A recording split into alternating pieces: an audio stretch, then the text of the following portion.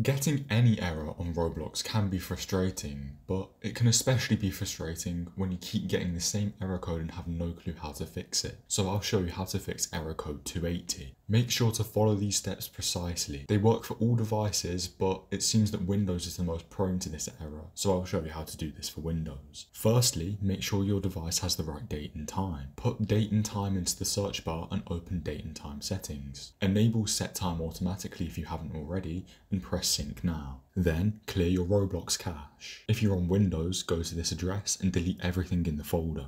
Then go to the control panel by searching it in the taskbar, select uninstall a program and uninstall Roblox.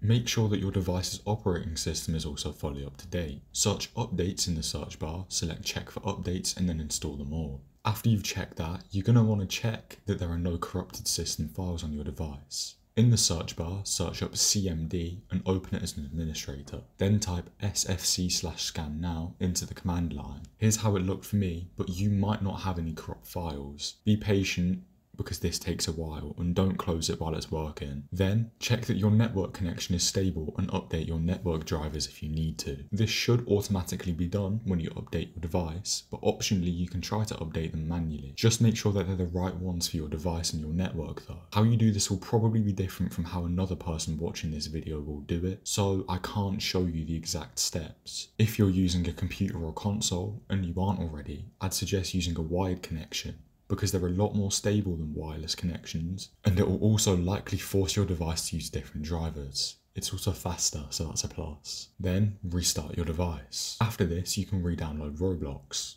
On PC, just try to play a game on the website and it'll download. If you followed these steps and your error code 280 issue isn't fixed, Make sure you follow these steps precisely in order. If you have and it still isn't working, there are a couple more things you could do. This person on Reddit had his problem fixed by doing this. So if you usually use the desktop app, try to open a game from the website, how this guy tried to. And if you usually use the website, do the opposite. Another user had his problem resolved just by waiting, but as another user pointed out, this could take a long time. The nuclear option is to reinstall your operating system or factory reset your device, but you don't have to do this. If you're still getting error code 280 after following this guide precisely, you're probably going to want to contact Roblox support. Follow the link in the description or on screen now to do this.